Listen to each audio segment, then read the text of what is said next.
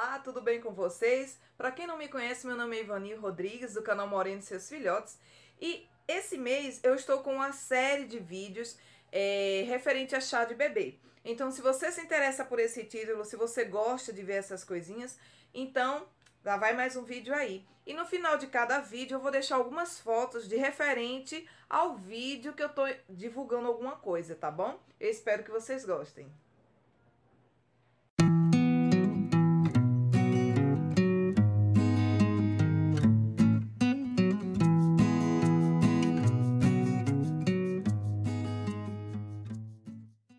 Então, meninas, isso aqui é uma bica para quem for fazer decoração. É, você mesmo for fazer decoração da parede. Então, aqui é o nome da criança. A gente cortou pequenos borens. Ó, esse daqui já tá montado, tá? Que a gente coloca como um varalzinho. Então, a gente pega as cores predominantes da festa, que no caso dela vai ser rosa claro, rosa claro, rosa escuro e cinza. Aí aqui, ó, tá o modelinho. Gente, é muito fácil, não tem erro.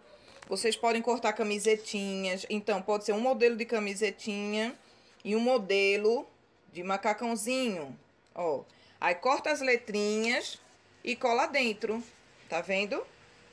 É muito fácil. Então, para você não se perder, o bom é você desenhar quantos modelinhos você quer e escrever o nome da criança dentro para você não se perder ou não cortar de mais, não cortar de menos.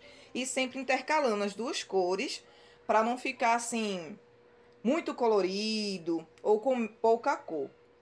E também vou deixar aqui no final do vídeo algumas fotos de decorações de festa, é, mais ou menos nesse tema, para vocês terem umas ideias, tá bom? Espero que vocês tenham gostado.